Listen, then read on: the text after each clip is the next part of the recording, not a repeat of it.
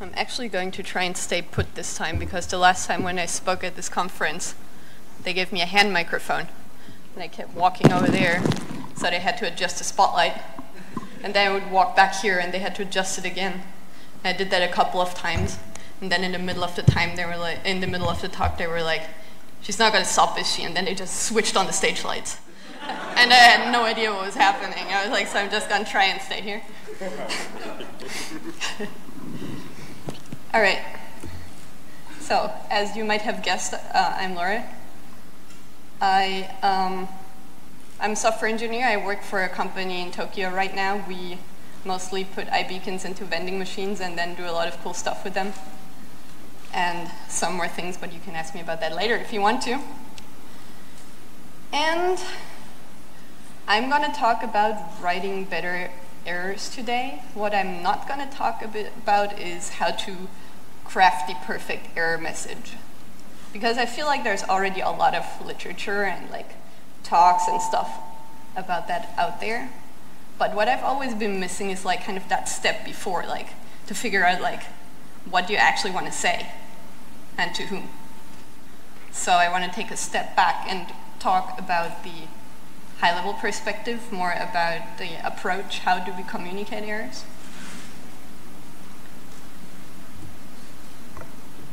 I recently got a Roomba from a friend who is moving away from Tokyo. And um, I don't know, if you don't know what it is, it's kind of like a tiny little vacuum cleaning robot, which goes around on your floors and cleans them. So I got it and I brought it home and then I wanted it to clean my floors, so I put it on my floor and I pushed a big clean button and I expected it to clean, but it refused.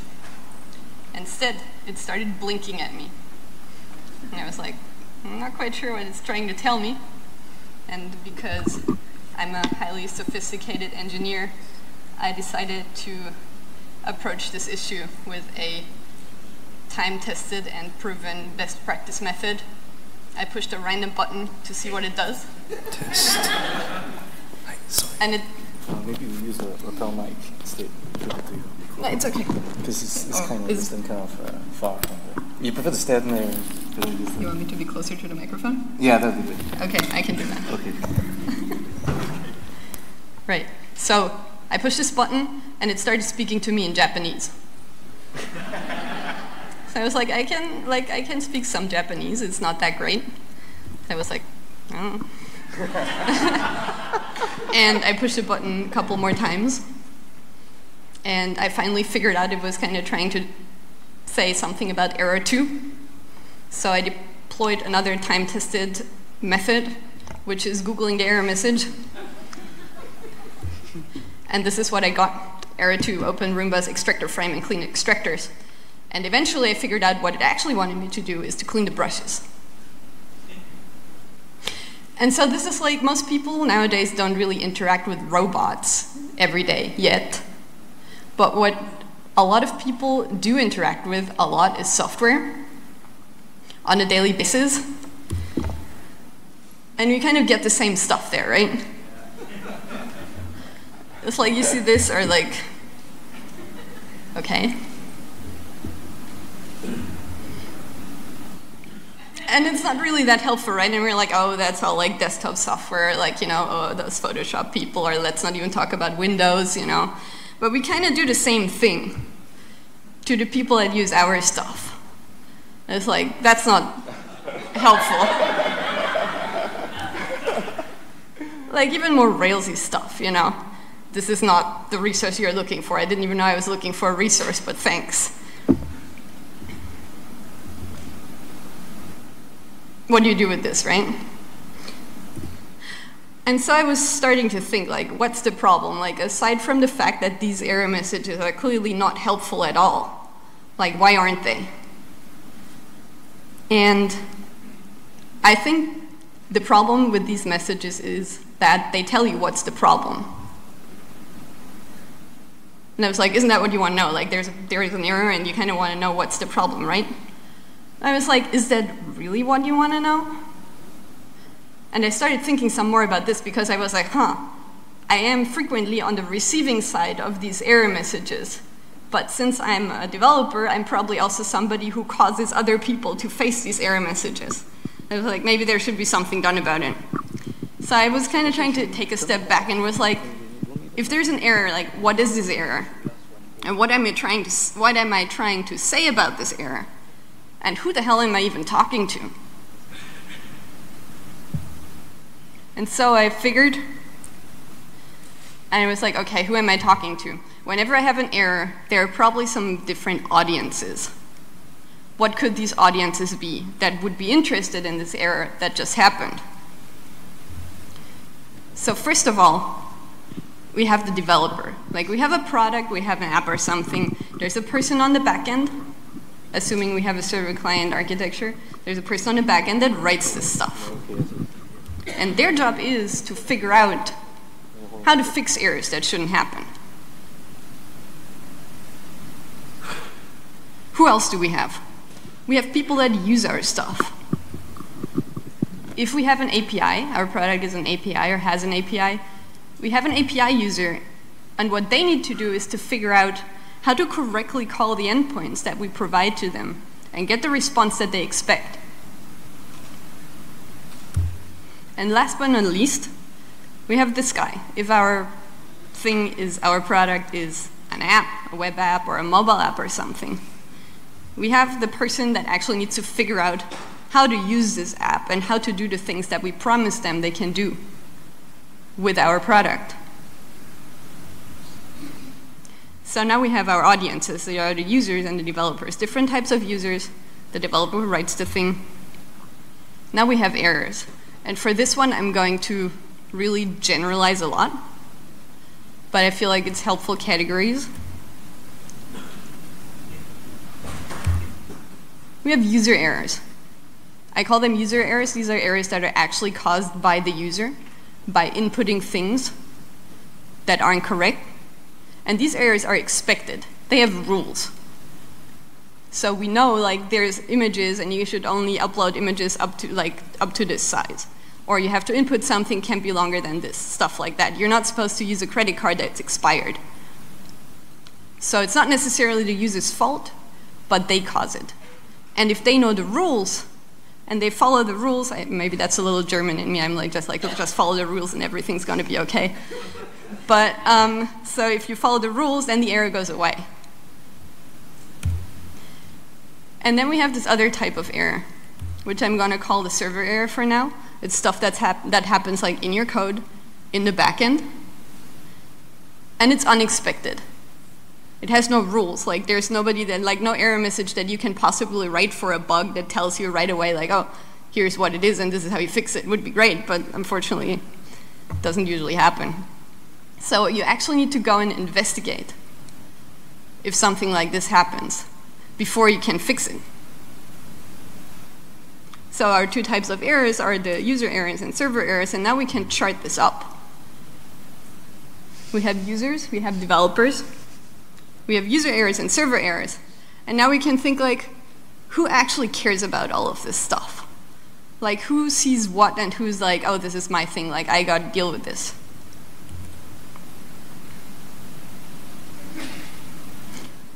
If I have a user that faces a user error, that's something they can fix. They just need to input the right thing. They need to know what they should input and then do it. A developer that writes this code, like at the point when the user actually inputs something, you can't really stop them. Like there's nothing you can do about it. You can try to make it clear and everything, but if they do something wrong, you can't stop them. So you kind of can't really fix this. On the other hand, if you have a server error, a user can't really do anything about it. They can't go into your code and kind of try to fix the bug, and you don't really want to anyways.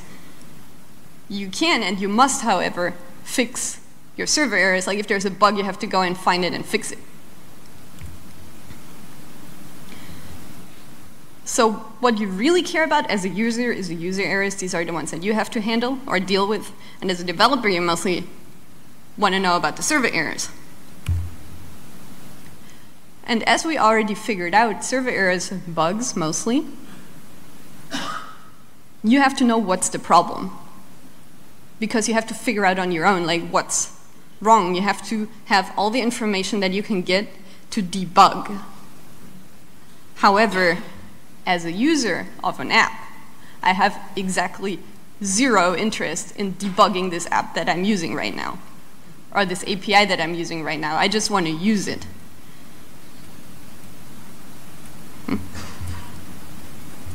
Here we go. So I don't really want to know what's the problem. That's just a step on the way. What I really want to know is how do I make this problem go away?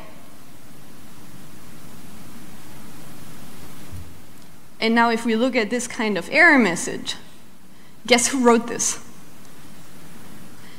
The person who wrote this is a person that is used to dealing with errors on their side, where they don't really have a solution of how to make it go away. They just want to know what's the problem. And that's what they tell the other person as well. For them, however, it's not actually what they want to know. So if we keep that in mind and look at it more on a, I guess, like a system level or a flow level, this is my extremely creative uh, flow diagram. when we have a request coming in from some kind of interface, like no matter is it like an API or like an app or whatever, an error happens here, what do we do? if this is an error that is actually interesting for me, the developer, I gotta log it. Like, I gotta be informed about this error. I gotta know what happened. So this is basically logging. And you wanna put everything there that tells this person what is the problem. On the other hand, I also gotta communicate it back to the interface. And here I really don't wanna know what's the problem. I wanna know how do I make it go away? Can I make it go away? So we're splitting this up. We're deciding what is this, what kind of error is this, and who am I talking to about this error.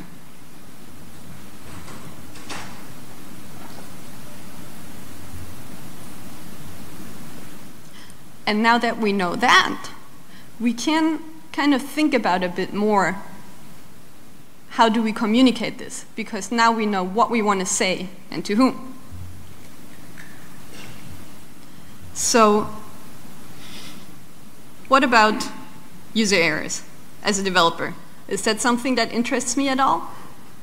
Most of the time, I'm kind of like, I don't really care.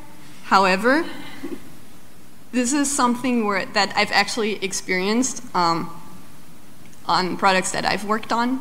If, there, if you constantly get input about users not being able to do a thing, or they always make errors, they do the wrong thing, you can kind of turn on to selectively log input errors, like this kind of errors on an info level, to see how often they happen and at which point they happen. And if you're like, oh, like every second person like trying to do this gets it wrong, then I have to rethink my interface. Then you go and talk to the UX people or whoever made this thing to figure out how can we actually not make this happen so much. Because we have to communicate the rules to the user, but in this case, me as a developer, I actually want to know how to not make it happen. As a user, on the other hand, I'm concerned at this point, like, how do I make it work? So what do I want? As an app user, first of all, I want really clear and readable layouts.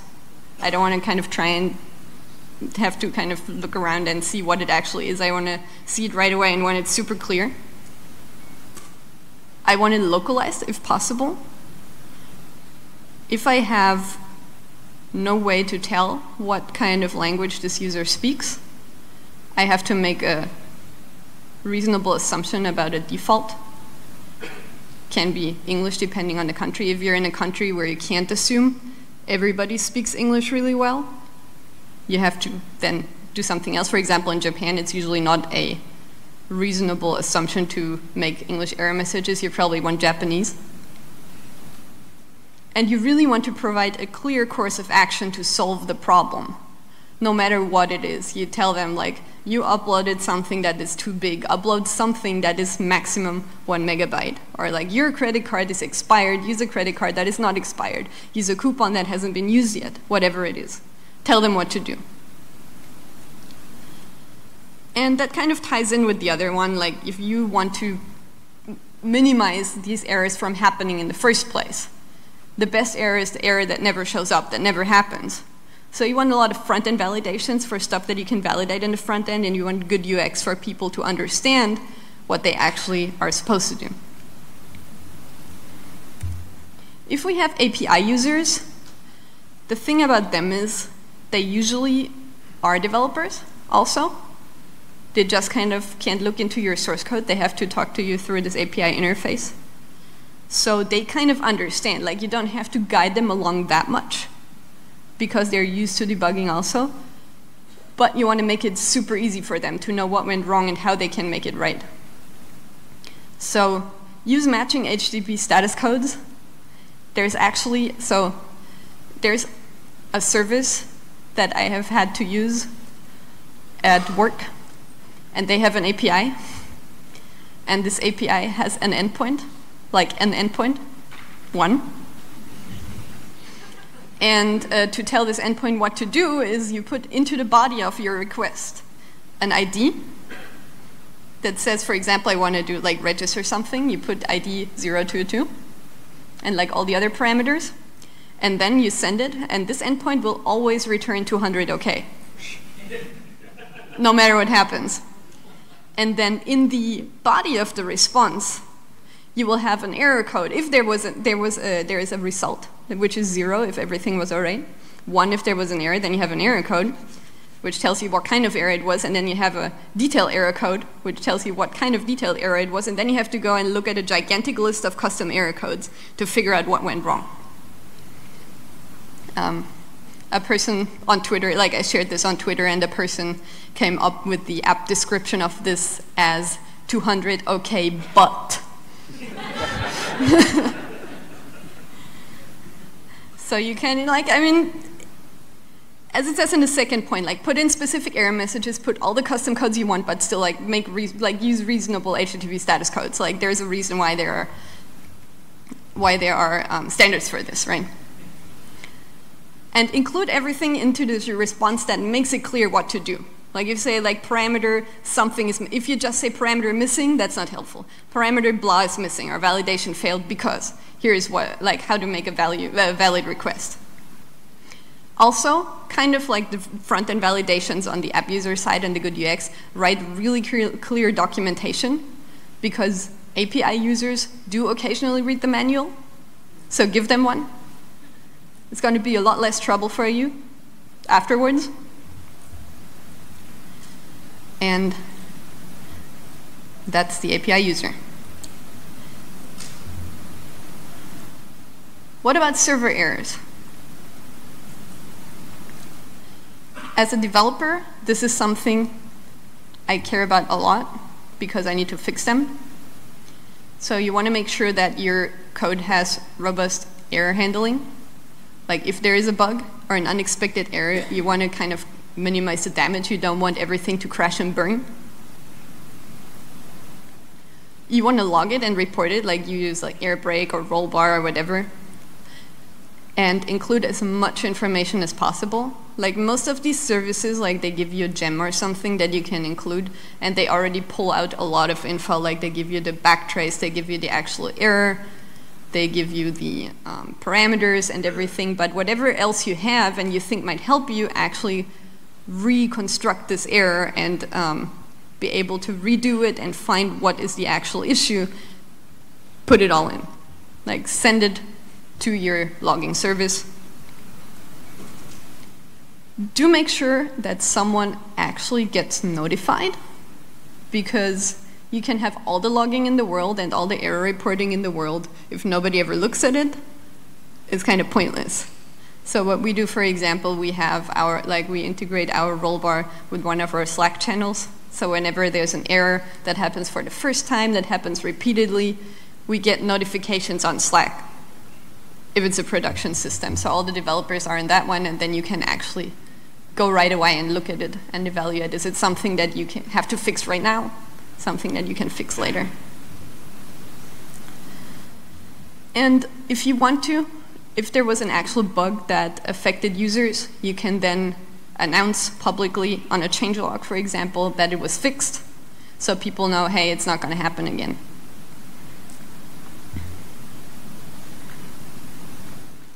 What about users and server errors?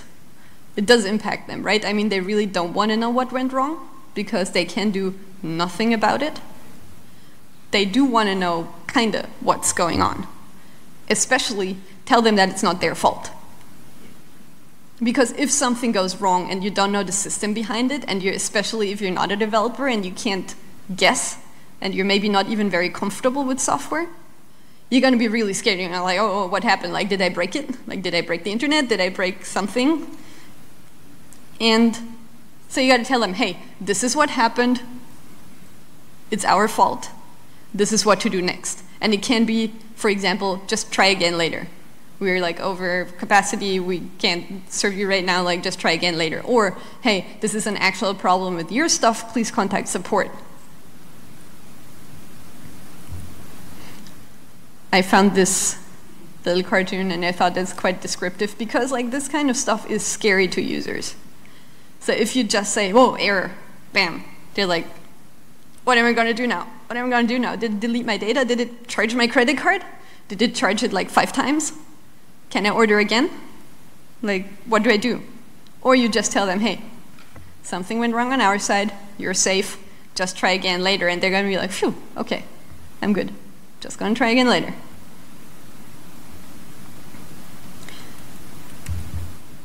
So instead, for example, of sending something like this, which is still scary, and I'm like, to a developer, it makes sense because yeah, this is you know this is what happened.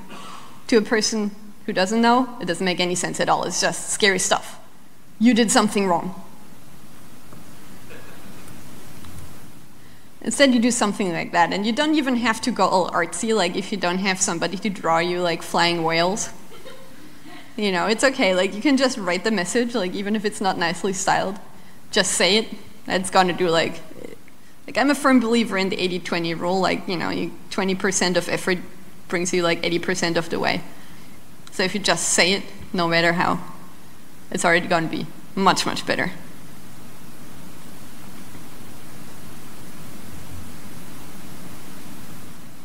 And this is pretty much what we want, right? For everybody who is interested, everybody in our audience, we want to achieve or we want to enable them to solve the problem that they're facing in the best way possible, in the fastest way possible, and with the minimum of frustration, no matter if it's a developer, if it's a user, or anything. And now that we know what we want to say about what kind of error to who, we can now go out and figure out how to write the perfect error message, how to word things, how to display things. But this step about like, what am I going to communicate to who? That's like that's been like the missing link for me of like going from an error happens to like what kind of thing do I put into my error message? And this is pretty much what I wanted to share with you. So I hope this is helpful to you when you handle your errors in the future and communicate them to whoever is interested in them. Thank you.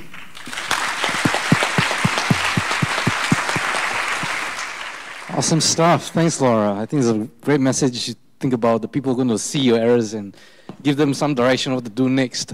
Can we get some questions, please? If anyone has them. Yes. Great. Hi, thank you for the talk. Um, what do you think is the major problem with, like, because you showed the 500 in Rails error message, and um, I mean, I've seen it a million times, mm. and I think, oh, well, what do you think is the the reason for that? Because if I can make a comment, I think most people don't know how to kind of, I mean, I wouldn't know how to um, keep, like, to, how to track what error happened, because you know you have this 500 generic handler in Rails, and then once this exception is happening, you basically lose information of, okay, was it, I don't know, the wrong credit number, uh, credit card number, or was it, I don't know, uh, um, Redis uh, connection broke or something like that. So I think, oh, I'm, I'm asking, how would people track what actually happened, especially in Rails? um, track is for like the developer, like what error happened, or track for the person who sees it on the front end? Um, so the developer has to basically track what happened so you can render um, a meaningful error message. Well, I think for, I guess what I was trying to make clear for 500 errors. I totally think we should talk German, by the way. like for server errors, there is, uh, you don't really want this, so if it's a 500, then it's most likely some kind of bug. Okay. And you don't really have to communicate to the user, hey, this is exactly the bug that happened because they don't really care. So it's not going to work for them until, the, until you fix the bug. So for a 500 error, you just want to tell them, hey, something went wrong on our side. Uh, so you don't really need to figure out at this point what went wrong and show it to the user. But you as okay. a developer, you need to know. So you want the error handling that actually like as the, as the exception gets raised, you catch it or you kind of handle it and log it to your logging system. So you can then get notified and say like, hey, this is where it happened, this was the error, this is the backtrace. Okay, okay, okay, I got it. Cool, thanks. Yeah. yeah. Do you think actually it is a good idea to tell the users try contacting us or something like this, or to try again later these messages? Because I think that uh, if you say try again later, then users will just keep trying, and this bug is like, you know, over and over, and they are just frustrated because what does it mean later? Does it mean in five minutes or does it mean in five days? And the other one is when you say contact us, then suddenly you've got 50 emails from users saying, hey, I, I, I saw this error. But me as a developer, I already saw it in my error mm. tracker. So the user actually doesn't have to contact me. I, I don't need it. Mm. So do you think that doesn't it make users only more frustrated because they expect the immediate response from you when they contact me? Yeah, that's a good question, and I think it really depends on the kind of error because, like, even on the server, you get different types of errors. If it's a bug, like an unexpected error, like completely unexpected, you got to fix the bug, like, and they can't, like, they can retry all they want. It's not going to make it go away. However, if it's, for example, because you temporarily couldn't reach some microservice, and it, or something timed out, and then you're like, okay, I know this is like a 503 or like a 504 or something. And then you know, like, okay, if they try again, it's probably going to work. Then you can uh, tell them, like, oh, just retry. If it's something where you really want to contact support, that would probably be, like, if you can figure it out by the type of error being raised, is, for example, if you actually have a problem with your data. You know, like if something got missing and they're just trying to, to kind of actually get a resource that's not there anymore, but it should be there, but they, won't fix itself. It's not an actual like code error, but it's more like a data error, and you probably have to have someone fix it for them, like specifically for that person or for that user. As developers, we should categorize this error by what do we expect user. Yeah. Okay. Any other questions? Yeah, the gentleman. Oh, oh, hi. Uh, thank you for your talk. It was exceptional. Thank you. uh,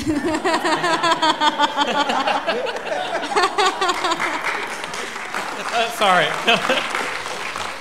I, I, really enjoyed your presentation. I was wondering, um, for the category of errors when we're just showing 500 pages, um, where it's something that happened on the back end and we don't, mm. we don't need to inform the, the end user what happened, uh, do you think that that's the type of messaging that belongs on that page is generic enough that um, it could be a similar thing for all websites? I mean, I guess what I'm trying to get to is, is there a, could we possibly change the 500 page, the default 500 page on Rails such that it's, or the production 500 page such that it's better for end users by default? Is that something you think would be possible? Or does it have to be customized per, per site? I mean, you can probably, like, if you want to do it like 100%, you can probably customize it per site, but I think it could be a lot better as a default. Just because, like, if I'm developing, like, if I'm doing it on my local machine and stuff, then sure, like, as a developer, I know, like, this, like, something like internal server error, I know what that means. Like, if it's displayed to a user in production, I think that's actually a very good idea to say something that makes sense as, like, out of the box to a person who doesn't know what this is about. Thank you. Uh, I have one more comment. I think that uh, if you have a website, you have an application that processes users' money, if user use credit cards or something to pay you, and there is an error on the payment step, you shouldn't tell contact us, you should tell we will contact you. Like I think that it's just not developers, but the company's good practice to be proactive because users will panic if Right. they see an error when they provided you their credit card Right. number. Just uh, I think so, and especially like if you actually manage to catch it, some kind of error that's not like a kind of no method error or something, and you know that their payment wasn't processed or it never even reached, for example, the payment uh, the credit card provider. Tell them, especially about credit card payments, because that's like something that people like don't think is funny at all. Like you try to buy something and you're like, oh, did it process? Like if I order again, like will they charge me twice or like what happened? So, and otherwise, if you can't tell, you got to make it so that on the back end you're actually informed oh like this was a, a process that involved payment an error happened please check on this user was there a payment did it go through or not Uh, how how useful do you think HTTP status codes are to users? I guess uh, which kind of users so. So actual app users. So I, I guess you still see quite a lot of 404 pages mm-hmm. with the the numbers 404 in them. I'm just wondering, is it is it so common nowadays that people know a 404 means a page cannot be found, or is it mm-hmm. still like our developer bias mm-hmm. coming in? so i guess the thing with the 404 is that's kind of the one status code that's kind of ambiguous because it could be like this page doesn't exist like this path per se or like this actual resource that i was trying to find doesn't exist So that's one of the bit more like difficult ones. But basically it says like something wasn't found. I don't think the number means anything to people. It just kind of shows up. But what a lot of websites do is like, oops, we couldn't find what you were looking for because of something. And then you still kind of, I think it's better to actually say like, hey, what should you do if you can do something. But like the number per se, I don't think it means anything unless you target, like your target audience is actually developers. Like if you're GitHub, like people who use your service are developers, so they're gonna know what is 404. But if it's something completely unrelated, that's I think the number probably doesn't mean anything to actual end users. Cool. I think we have time for one last question, there is any. Uh, do we have anyone else with questions? No? Okay, thank you very much, Laura. Thank you.